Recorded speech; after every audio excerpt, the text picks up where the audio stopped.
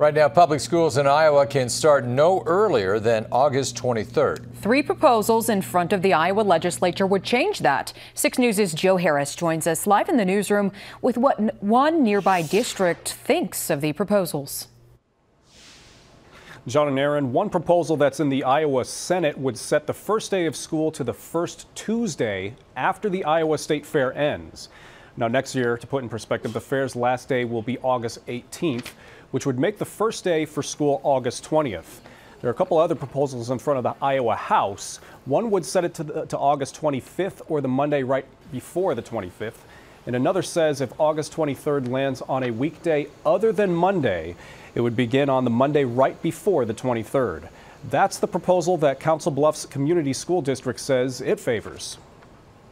We'd love to see us and just be consistent that we could start during this week, the third week of August.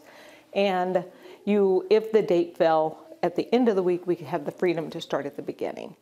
And so that's kind of the piece that I keep pushing for is that flexibility to still be able to start our school year at the beginning of a week versus the end of the week. And I would always love to start sooner than later. Now, the group Iowa Travel Industry Partners is against all three proposals, saying they would hurt tourism.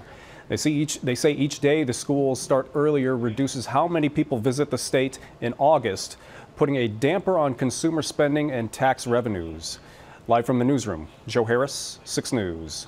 New.